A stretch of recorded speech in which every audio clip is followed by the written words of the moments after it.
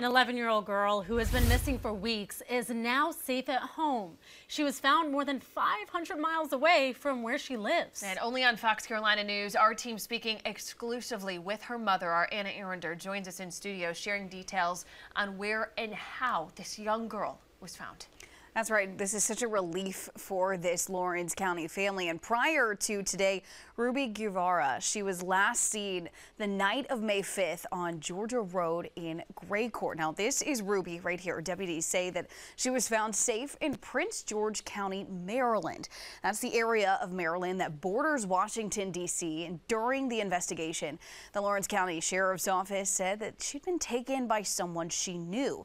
Deputies identifying that suspect as 20 21 year old Rafael Garcia, who you're looking at right now. He is in custody in Maryland while awaiting extradition back here to South Carolina. Now, Garcia, he's charged with kidnapping and delinquency of a minor. We got a chance to speak with Ruby's mother through a translator, and here was her reaction finding out that her daughter was safe.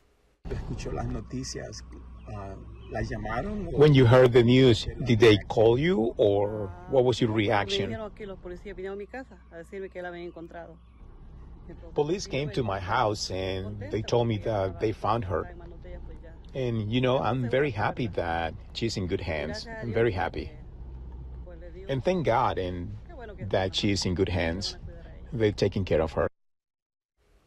Investigators say that they do expect more charges to come from this case. For now, I'm Anna Arender.